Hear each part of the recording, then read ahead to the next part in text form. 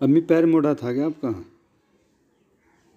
अच्छा मुड़ के ऐसे हो ना, जब तो सूजन आ रही इसमें। सूजन की वजह से इसमें दर्द हो रहा है। खैर, जैसे हम इसमें डेली वो करेंगे ना, सिकाई करेंगे, गर्म पानी की और उसकी नमक डाल के और थोड़ी टूब लगाओगे तो ठीक हो जाएगा जल्दी। और वैसे आप चलने का काम मत करना। क्योंकि अगर इस पैर पे ज़ोर दोगे तो ऐसे ही सूजन बढ़ती है।